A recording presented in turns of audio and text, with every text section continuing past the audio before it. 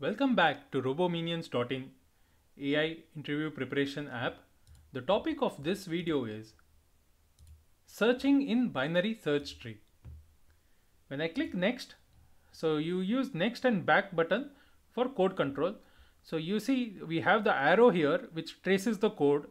It goes to the exact location of each individual line of execution. Okay. Our AI is trained in such a way that it uh, goes to the specific execution lines of the code. It acts like its own compiler and goes to that line.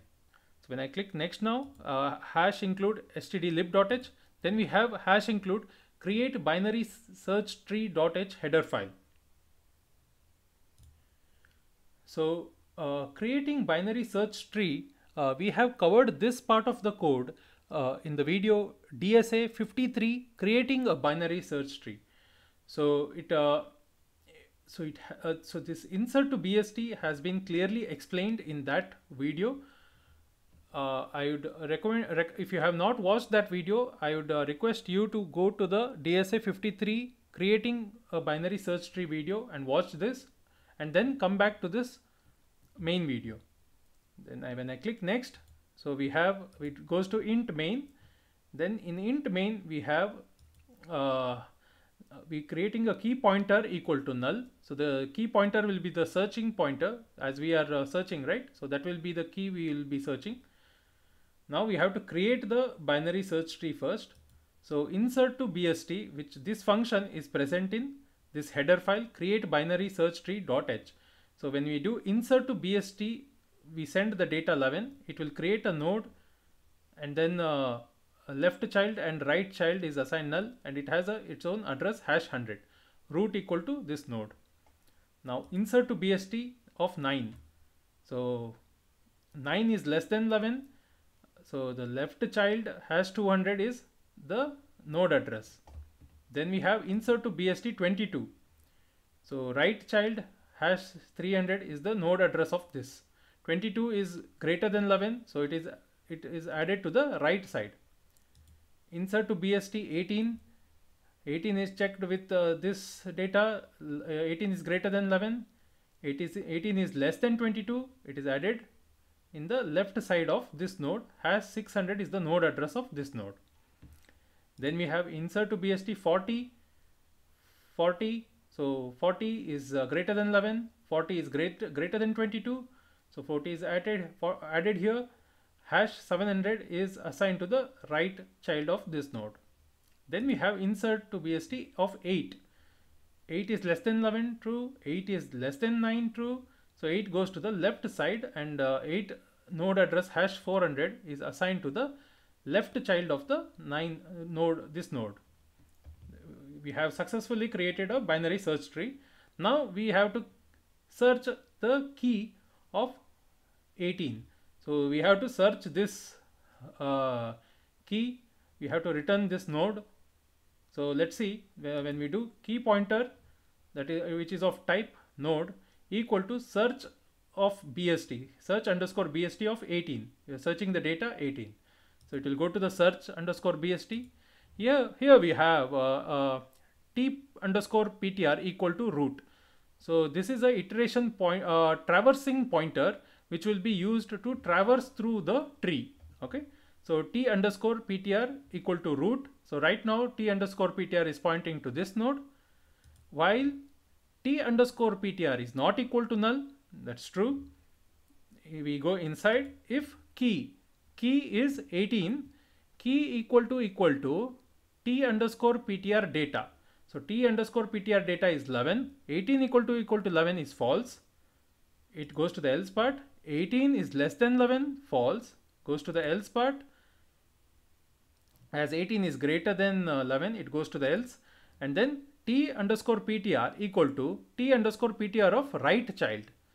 Because 18 is greater than 11 right? So it has come to the else.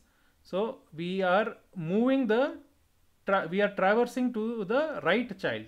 So from here the tptr is pointing to this node now. It has moved to the right child right child address is 300 right? Hash 300 hash 300 is this node.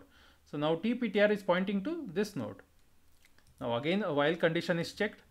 Tptr is not equal to null. That is true. Tptr is not equal to null. Again the key node is checked. Sorry the key value is checked. 18 equal to equal to 22 false. Comes to the else if 18 less than 22 true. So 18 is less than 22 so this tptr is moved to the left child. That is hash 600 so tptr equal to tptr left child. So tptr is now pointing to left child hash 600 now again the while condition is checked.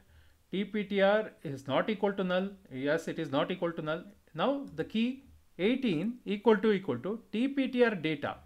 T pointer data is 18 so yeah we have matched the data. So 18 has been matched. We we have found the key in the binary search tree.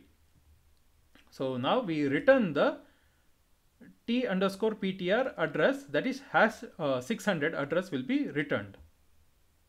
When we return now key underscore ptr is pointing to this node and it is not equal to null. True. Searched key of uh, key ptr uh, key underscore ptr data that is searched key 18 is found. So we have successfully found.